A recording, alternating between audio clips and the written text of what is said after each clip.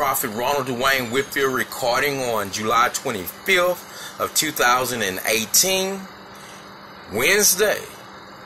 As you see, here is in the Supreme Court of Texas miscellaneous docket number 10-9190 approval of referendum on proposed amendments to the Texas disciplinary rules of professional conduct.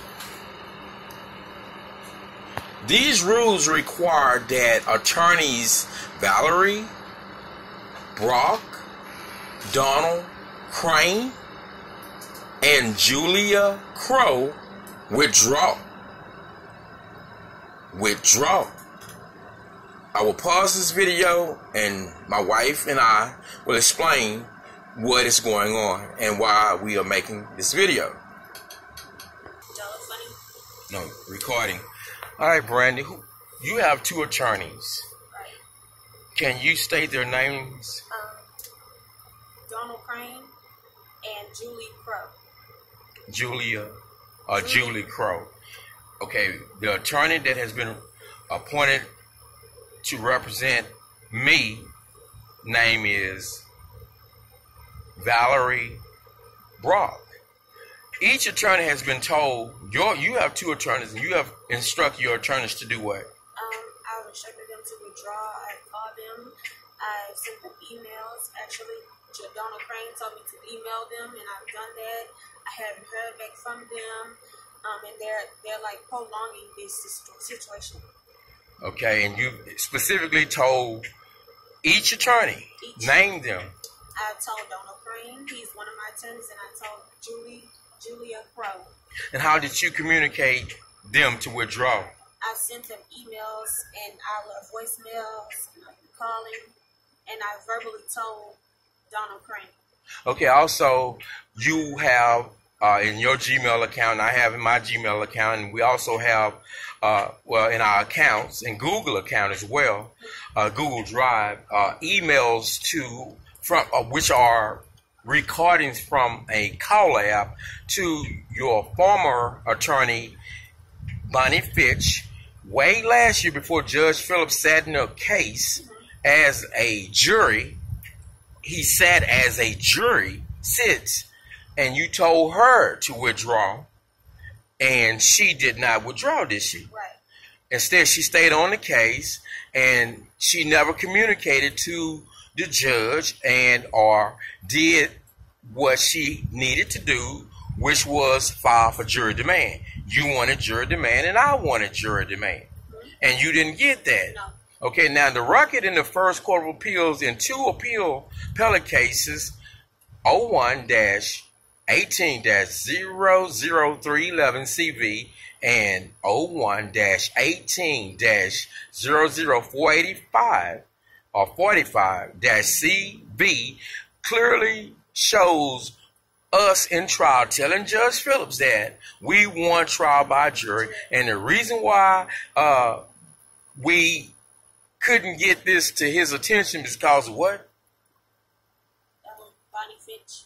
Bonnie Fitch. She never returns your phone calls. And we have proof to not that the, the system, the internet is going to show that the recordings were sent to her way last year. So you have to put a court or trial judge on notice at least 30 days in advance of your demand for jury. And you tried to do this by, you know, we called Bonnie and she just wouldn't do it. So that would tell us that they didn't want you to have a trial by jury. Okay, so have we covered everything? So I've uh, called. I've called the state bar of Texas. The state bar was uh, taken aback that I'm having this issue.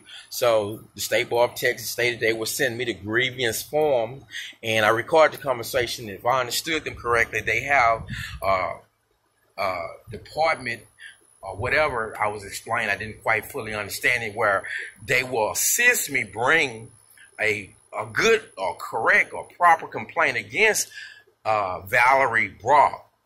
And they, they also, I'm waiting for that to come in the mail. I've asked this attorney before she even uh, filed a motion for new trial. I told her she was appointed by Judge John Phillips of the 314 Judicial District Court Harris County, Texas, on July 10, 2018, to represent me.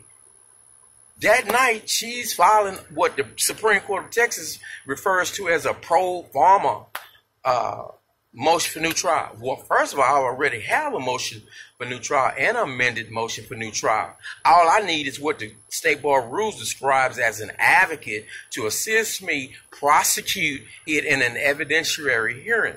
Instead of presenting my cognizable issues, she filed some trash saying that the evidence was factually and legally insufficient to support the judgment. But she she has no proof to back up her claim. Quote, to be convincing when you write and when you speak, you need to back up your opinion with reasons and evidence. Nobody's going to believe that what you say is true, Miss Julie or rather Valerie Brock, just because you say it. You need to build a sound, logical argument consisting of your opinion, reasons, and evidence. By definition, evidence is any kind of specific information that you can use to back up your motion for new trial. Evidence may consist of facts, statistics, examples, quotations from experts, and incident. I memorized all this in prison, baby, because I knew someday I might need this knowledge. Now, over my objection and over my protest, and without even telling me that last night I filed last night electronically e e file a motion for new trial. I'm not gonna go in there. I'm finna do it. I'm finna violate the ethical rules and the professional rules on attorney uh, conduct. Uh, published by the state bar, and I'm finna go in here and file and argue some trash. You're not finna get an evidentiary hearing. I'm not finna move for continuance. I'm finna lie to you. I'm finna mislead you because I'm I'm assuming you don't know you don't know the law like I do. I'm thinking you might know how when you see a stop sign, stop, a red light, stop, but you don't know the law like I do. I've been to school. You ain't been to school, so you don't know the law. That means so I, I don't. I, I'm gonna I'm gonna I'm gonna deceive you. I'm gonna no, you're not gonna deceive me because I studied law probably before you before you even thought about becoming a lawyer. I've been studying law ever since 1993. I just don't have a license. And as far as uh, typing, like lawyers, or even lawyers probably don't type. They have paralegals to do all that. So in court, you don't hear. You see a different game in court. You do, on on paper, you think that's the lawyer. No, that's a paralegal typed that up. He just signed it. If he or she even done that. So what I'm getting at, this attorney had over my objection. She represented a conflict of interest. My wife and I get to go in our motion for new trial. That cannot be taken away from us. Judge Phillips cannot uh, appoint what is called sham attorneys. Google that, please. Sham lawyers who are ignoring. These lawyers have no knowledge, no personal knowledge. Whenever there is a motion for new trial and the record does not disclose the facts, or it cannot be determined from the record, then if the grounds that you allege are what we call cognizable, a motion for new a motion for evidentiary hearing is mandatory. It's mandatory. You can't take that from us. For example, uh, we don't want to no piecemeal litigation. We want to present all our issues at one time in a motion for new trial. But before a court can rule upon them, we also know that you have to support your claims with proof. You cannot say, for example, that as I used to try to explain to prisoners, that you say the warden has a big, you know what, a vagina, because I know a warden. You can't use another example. Okay, well, I, I like to use examples that people can mostly. I'm sorry, but I like, you know, con. Well, okay. I would explain. Well, I, I would explain to prisoners that you have to back up what you say. You just cannot just say, uh, that Bonnie Fitch violated the law or the trial judge violated the law or anybody by CPS violated committed crimes without proof. without proof. You you can you will not get you are not entitled to relief. You have to support your allegations or your grounds with evidence because Judge Phillips and CPS prevented us from doing that. That's why we need the evidentiary hearing. For example, Paul Gonzalez, come on, you see this camera right here? So this has an audio in it It's a camera right here. It's eye catches from left to right. CPS was out here for five hours. I, Myron Evans, the video gonna show not Myron Evans coming in this house and the police taking my child, but Paul Gonzalez. Yeah, Myron Evans gonna come to court and commit perjury and say that he took my child and that he filed his lawsuit and he knows has all his personality and I got proof to show he is lying. Without Myron Evans, they could not take Caden. They could not keep Caden. They could not do nothing. The man who took our child was Hispanic. His name was Paul Gonzalez. When the judge Phillips held no evidence, no initial hearing, he got upset. He quit. My mother, my mother was in court. And I got all these ground where I automatically exposed what CPS has done. I get to expose the hospital. I get to expose Judge Phillips, his crimes.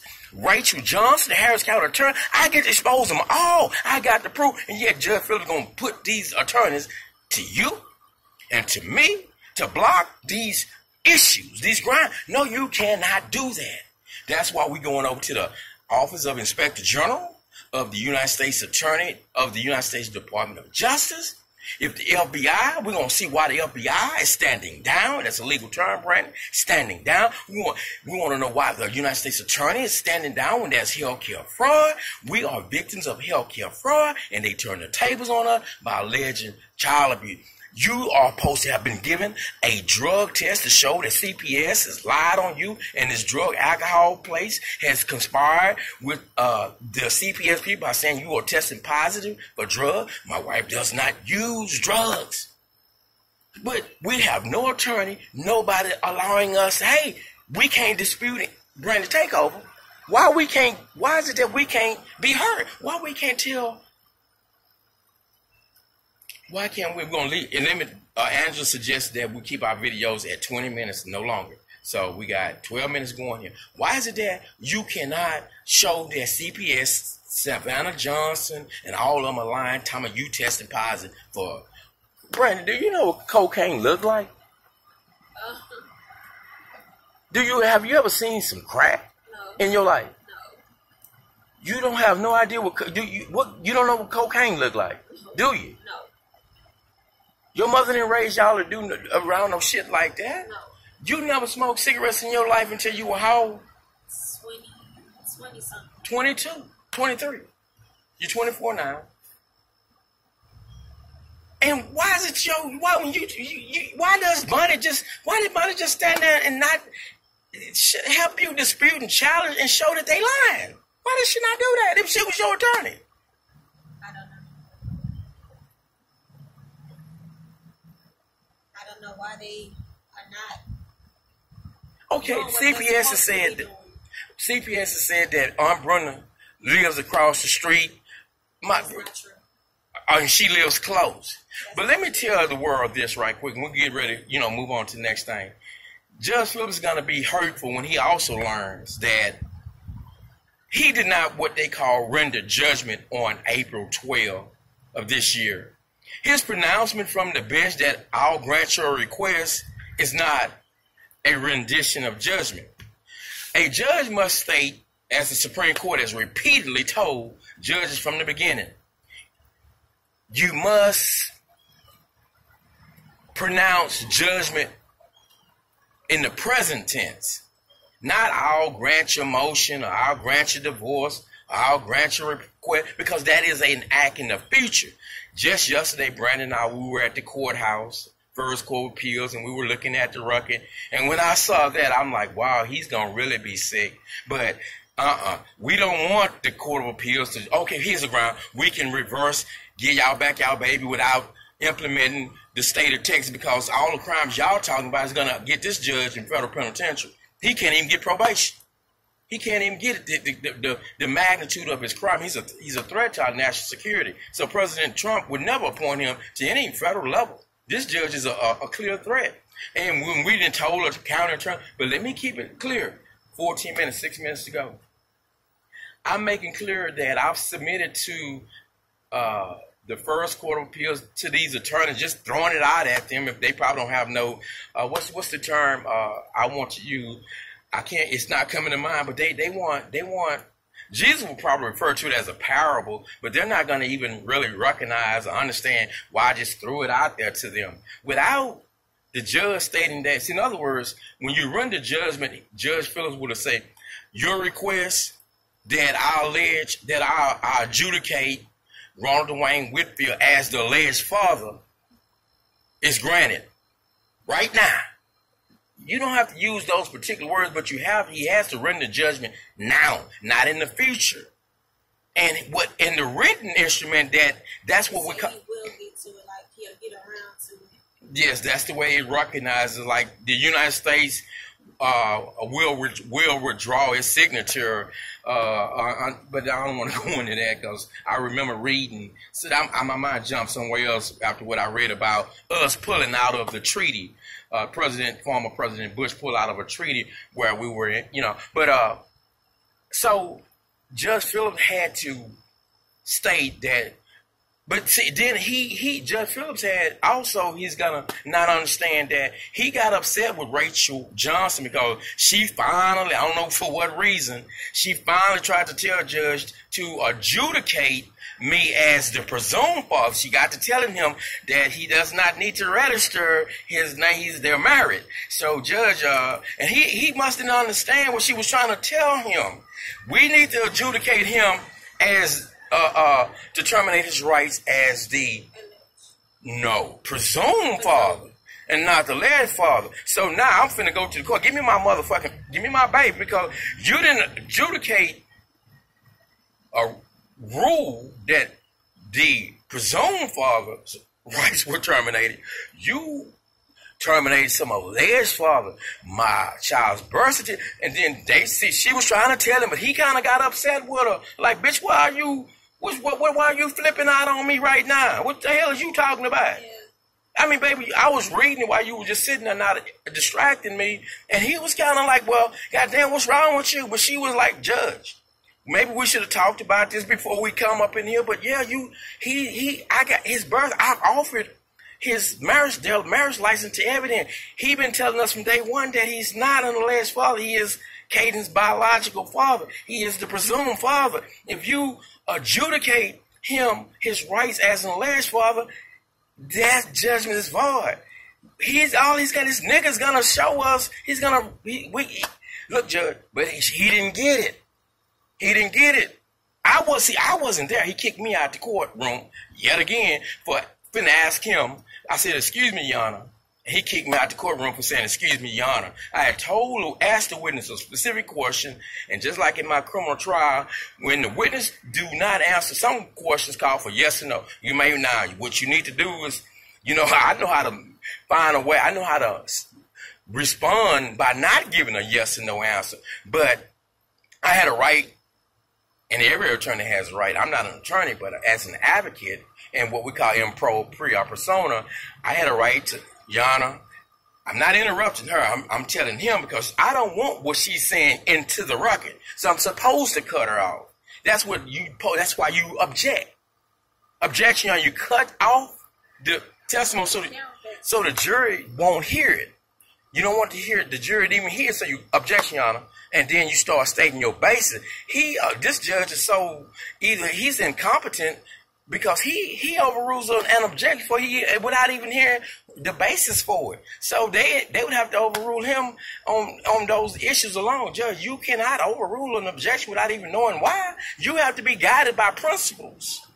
One minute left. So uh, in this case, uh, he overruled. So I said, "Excuse me, Your Honor." And he ordered me out, kicked out the courtroom for saying, excuse me, Jan, what I was going to do, Jan, would you instruct this witness to answer the question that I asked? I don't want to hear nothing about her opinion. I just want to know yes or no. Did I not or did you not tell me at the hospital, at the jail, when you came to visit me, that you saw these videos or whatever the question I was, yes or no? Because when you get, see, just like the prosecutor, when uh, Rachel Johnson, She's asking leading question. All she need to sustain a judgment on appeal for clear and convincing evidence or whatever is the elements, the components. so, uh, for example, she might say, and so you're saying that if Caden was returned to his parents, he would be in a continuing danger with them. Yes. that is an element that is in the record. So she's she's she knows what she needs to do to keep her judgments from their uh, from being over reversed. So she's she wants to get this these specific issues clearly and convincingly in the record. So here I want to get in the record clearly and convincingly, like you hear me ask you, Brandy, at any time did you swing or sling your child from side to side, and what did you say? At any time did you neglect your child? No. At any time did you mentally abuse your child? You know why? Can you have an idea why I'm asking you these questions? I have like a, maybe you want me to say that I did something bad, or you you feel like you know the answers to these questions already? Or I do. God knows the answer. I'm not God. God asks questions that He already knows the answer to. You know, so you asked it to me, hoping that I would you an answer to harm myself. No, no. Why would I do that? No, the prosecutor. No, no. Here's the question again, Brandon. When I'm asking you, see, they are already putting in on the record right. what they need to to sustain the judgment. I need to put in the record that there's a conflict right. and that the evidence is not clear and convincingly and convincing because you are a witness. CPS is not a witness. I'm confused. No, no, Brandon. The judge did not witness. Did the judge? Did Judge no. Okay. Did Rachel Johnson witness you anything? No. Did Savannah, no. the, the CPS witness? So you were a witness, right? Right. I was a witness, right? right? And whoever made these false allegations were a witness. So if if whoever made so damn what all damn all that this is how this game works. They allege allegations against you. This witness, there's no witness that came to court on April 12 and stated that you done anything. So I already know. See, the, Judge Philip already can't sit in the trial anyway. He's he can't do it because I already know what, what he. I already know. See, Brent, I'm a well ahead, of him in the game. Let me let me let me let me finish this here. Then we'll end this video. Brandon, what I was doing is I after I saw that they didn't bring in a witness, whatever happened at an adversary adversary hearing, uh, show cause hearing, that has nothing to do with the trial now on the merits. Uh, Judge Phillips never, uh, he cannot take, even if he were to take judicial notice, the appellate court cannot take judicial notice of what his judicial knowledge. So I don't even know that a judge can take, but the bottom line is this, I don't want to, because I have to refresh my memory on how that works. But no evidence, that has to be direct proof, testimony from a witness that observed, and you get the right, and I get the right to confront this witness. There was no testimony from a witness said that you committed child abuse, and I committed child abuse. So all I need to do is to uh, place the state to its burden of proof is when you say that you did not physically abuse, mentally abuse, nor neglect our child. And when I get ready to uh, to uh, to, to testify. But I'm like I told them, I'm not a witness. I'm not a party. So, you know, they act like they don't understand what the hell was going on, but they will. As it relates to you, Brandy, without a witness coming in for a, an appellate court to review any judgment, then there's no proof of it. What they're talking about it was happens, even if they could, that happened, that was in an adversary hearing.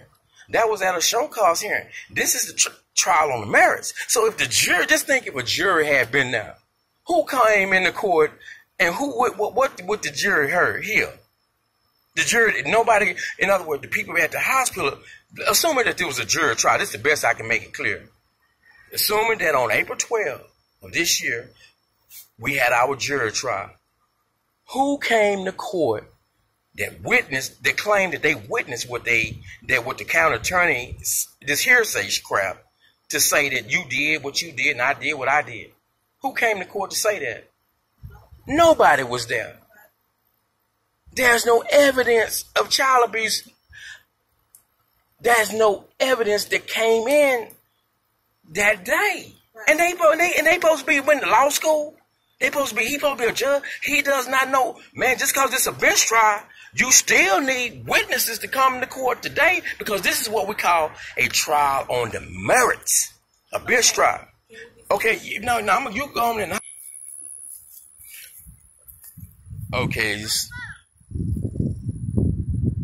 So again, um, there's no no evidence. This is a violation of due process when the claim is a claim for no evidence. If we were dealing with just the merits of the case, so I'm making clear for Judge Phillips that I don't understand what he's going through, but in this situation, uh, Judge Phillips did not.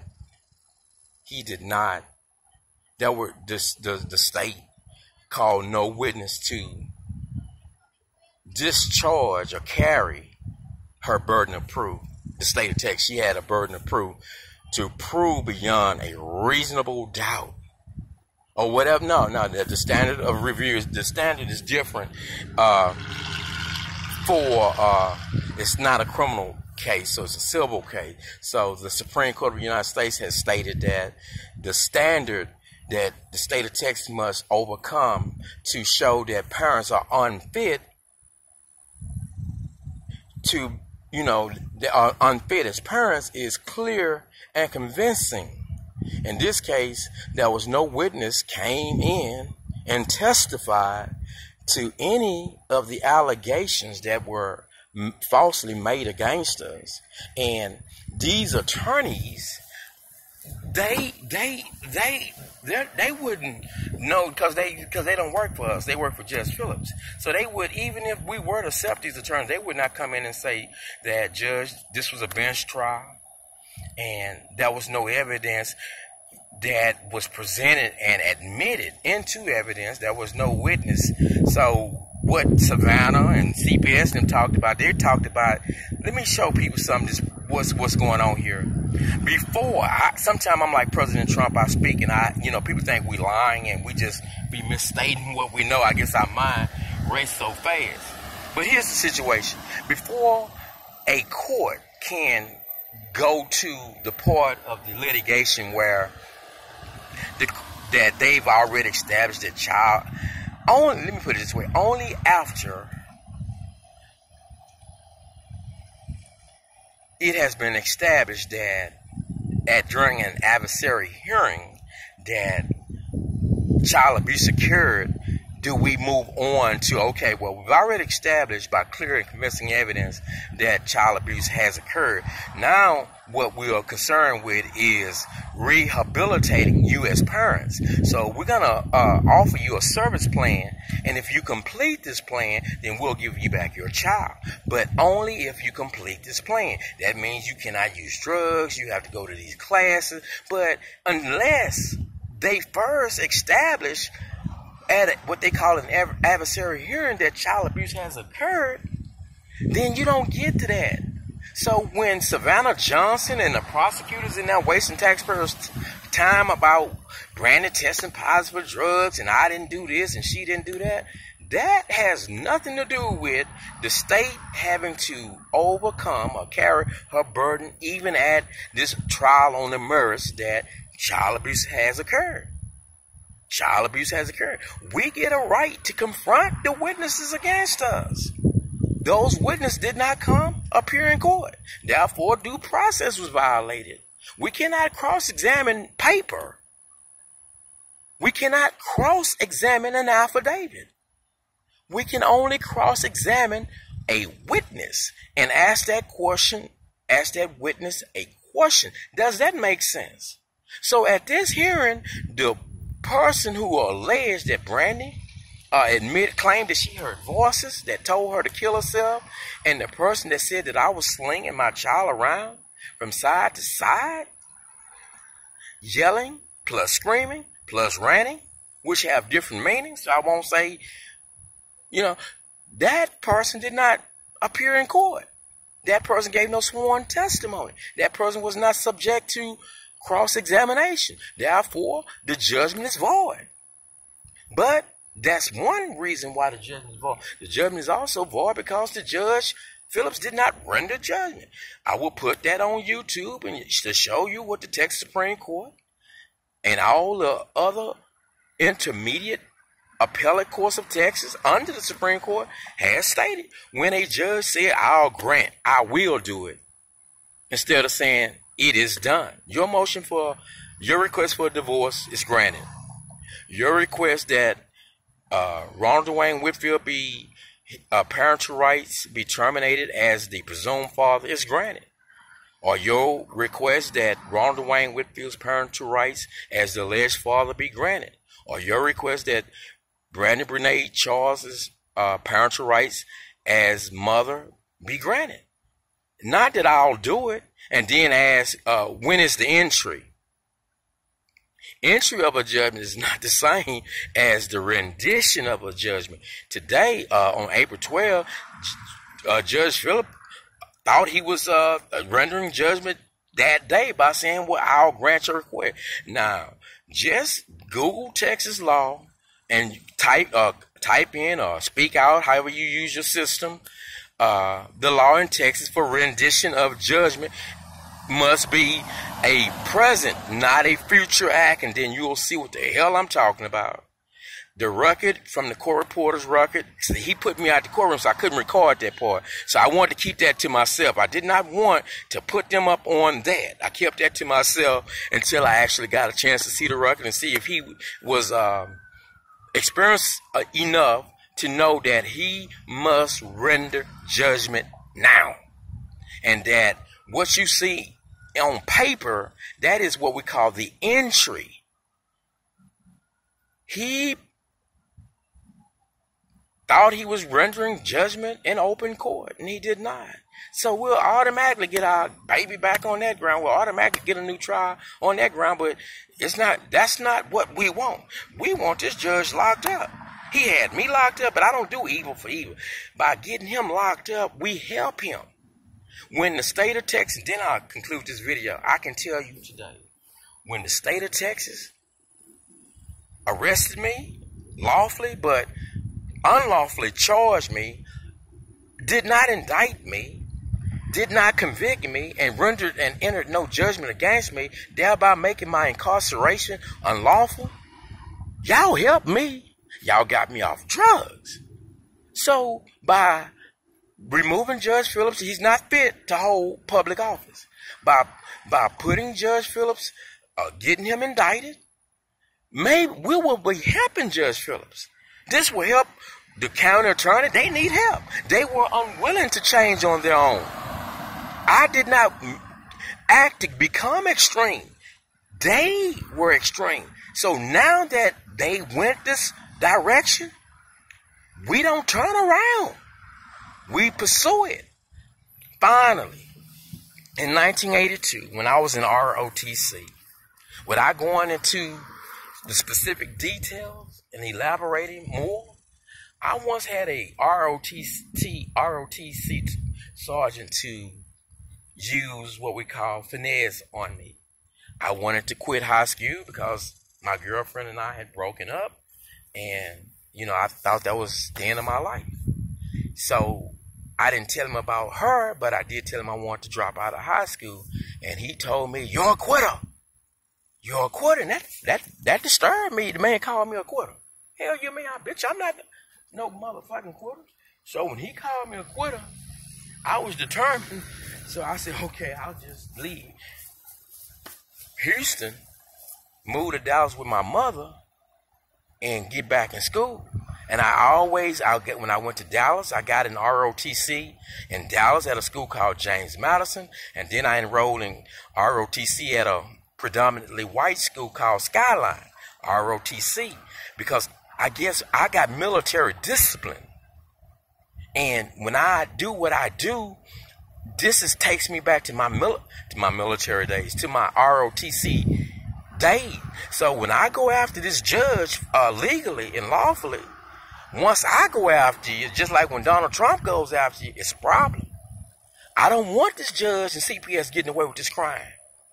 I end this video at 34:22 minutes.